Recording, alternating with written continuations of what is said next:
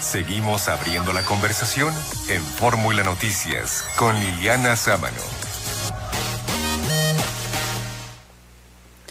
Vía telefónica, saludo en este momento a Claudia, Camila, corrijo, Camila Martínez. Ella es vocera del movimiento Jóvenes Claudia. ¿Cómo estás, Camila? Qué gusto saludarte. Hola, ¿qué tal? Muy bien, gracias. Muchísimas gracias por el espacio. Nosotros encantados de conversar contigo, Camila, porque justamente en este espacio informativo dimos a conocer esta serie de encuentros virtuales que ha tenido la jefa de gobierno de la Ciudad de México, estos conversatorios virtuales con gente de prácticamente todo el país y entendemos que ha tenido un papel importante esta agrupación de jóvenes, Claudia.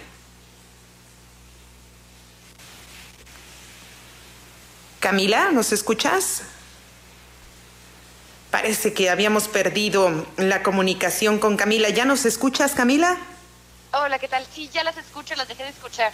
Ok, perfecto.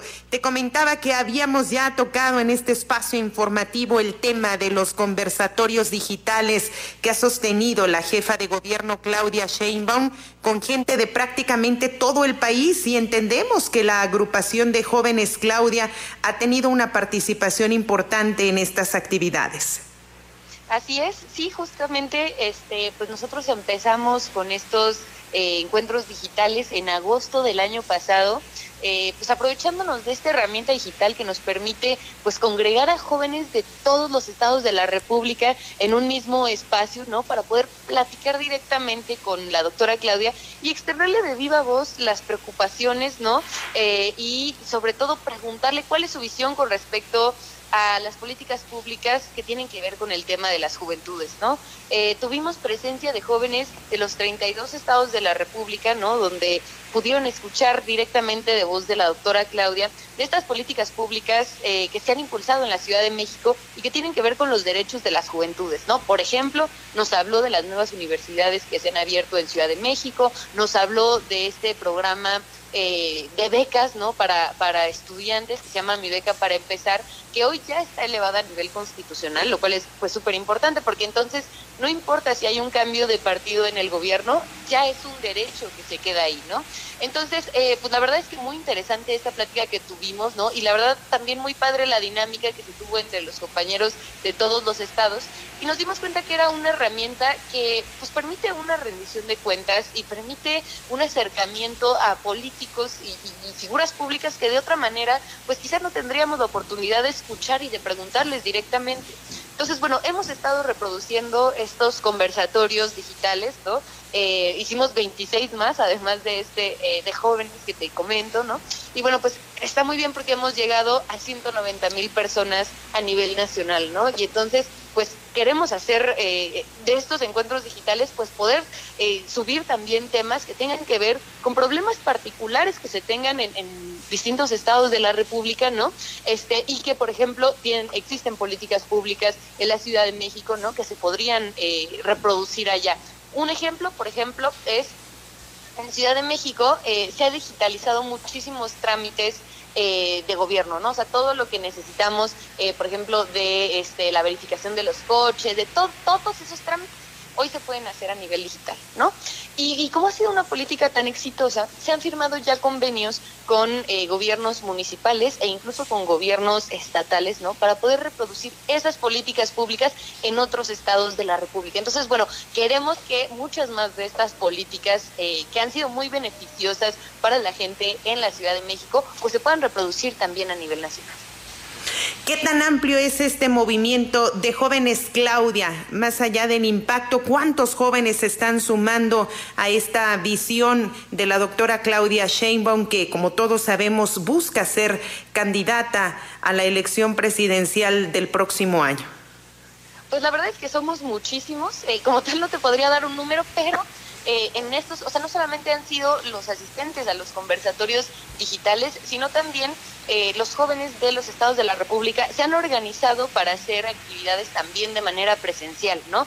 Hemos tenido, por ejemplo, brigadas, hemos tenido encuentros universitarios, hemos tenido, este, por ejemplo, actos culturales que tienen, por ejemplo, han hecho canciones, han hecho bardas, etcétera, ¿no? Y entonces, a partir de, eh, yo creo que la diversidad de las juventudes se refleja en eso, ¿no? En cómo están poniendo pues su granito de arena para esta, este, pues para esta tarea de dar a conocer quién es Claudia Sheinbaum, ¿no? La trayectoria que ha tenido Claudia Sheinbaum desde que era estudiante universitaria, que participó, por ejemplo, por el derecho a la educación universal, ¿no? Cuando peleó en el CEU en contra del aumento a las, eh, a las tasas universitarias ahí en la UNAM, ¿no?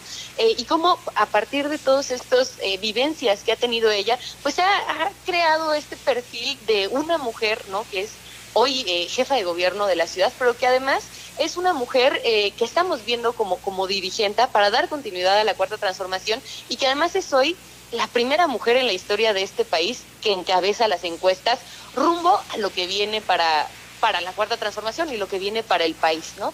Entonces, desde sus distintas trincheras, las juventudes de los distintos estados han aportado este, a través de eventos, a través de sus, de sus conocimientos, etcétera, para hacer pues más grande este movimiento de jóvenes clave.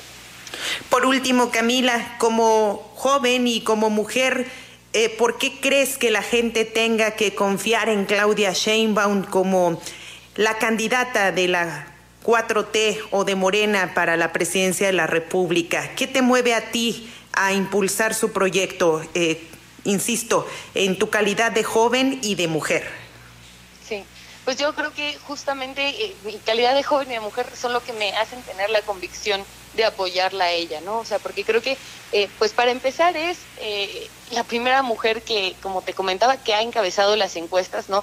Y tener la primera mujer presidenta en este país, pues realmente eh, lograría mandar el mensaje de que ya es tiempo de mujeres, ¿no? O sea, realmente este, queremos también tener la posibilidad de que una mujer llegue a la presidencia de la República para sentirnos representadas en igualdad de condiciones que los hombres, ¿no? Eso por un lado. Por otro lado, creo que es una mujer eh, que, que, más allá del simple hecho de ser mujer, entiende muy bien las causas sociales, ¿no? Vemos, por ejemplo, el apoyo que ha puesto eh, a, los nuevos, eh, por ejemplo, el cablebús, ¿no? El trolebús elevado en la Ciudad de México, son proyectos eh, de infraestructura, ¿no? Que se están haciendo en lugares donde históricamente no había habido inversión, ¿no? a pesar de que eran eh, algunas de las zonas de la ciudad donde más, eh, más población hay. Entonces vemos que es una mujer que realmente está preocupada por el bienestar eh, de las y los mexicanos, sobre todo de aquellos que menos tienen, ¿no? Y a mí, me, o sea, ese, esas decisiones que ha tomado ella, que se han visto reflejadas en cómo gobierna la Ciudad de México, me parece que demuestran, pues, no solamente su convicción de justicia social, sino también la honestidad con la que ha gobernado la Ciudad de México, ¿no? Entonces yo creo que por eso eh, deberíamos de estar eh, conociendo su perfil, ¿no? Conociendo su trayectoria y apostando, ¿no? Porque haya una mujer que entiende bien el proyecto de la cuarta transformación y que incluso es capaz de profundizar, ¿no? Eh, porque, bueno, sabemos que faltan un montón de cosas por hacer, ¿no? ¿no? No se puede resolver este, este país en el que vivimos en seis años, ¿no? Pero justo lo que queremos es que haya un gobierno que pueda profundizar esos cambios necesarios que necesitamos para lograr, pues, un país mucho más justo, ¿no? Donde quepamos todas las personas. Bien, yo te agradezco mucho estos minutos para con Radio Fórmula Morelos, Camila Martínez, vocera del movimiento Jóvenes Claudia, te envío un saludo y gracias por atender a esta comunicación. Muchísimas gracias. Si me permites así un segundito, nada más invitarles, el día sábado 18 eh, vamos a asistir a esta movilización que convocó el presidente López Obrador, o bueno, la concentración que se tiene en el Zócalo Capitalino.